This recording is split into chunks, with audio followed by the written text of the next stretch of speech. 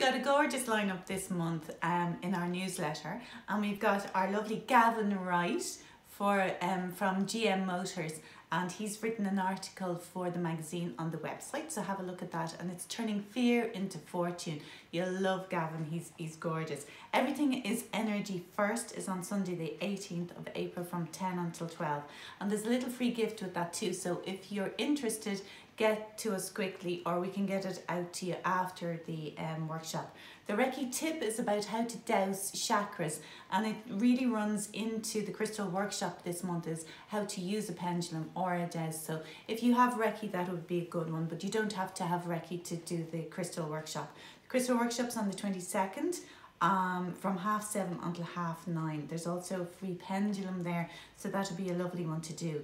Confidence workshop is on the 30th of May, and that's opening up your solar plexus and standing in your personal power and letting those high vibes out. The Reiki Exchange night is on the 27th of April from half seven until nine.